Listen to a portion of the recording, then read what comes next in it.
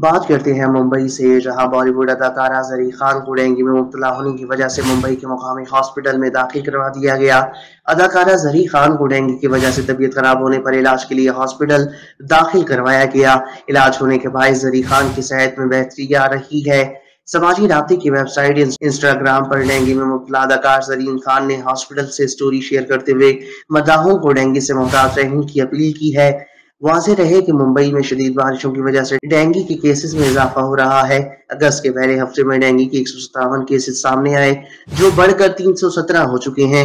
Big boss और TT के दो के फाइनलिस्ट अभिषेक भी डेंगू में मुबतला है, जबकि 2010 में सलमान खान की फ़िल्म वीर से बॉलीवुड में कदम रखने वाली अदाकारा जरी खान ने वजह तुम हो हाउसफुल टू जैसी बॉलीवुड की मशहूर फ़िल्मों में अदाकारी के जोहर दिखाए हैं।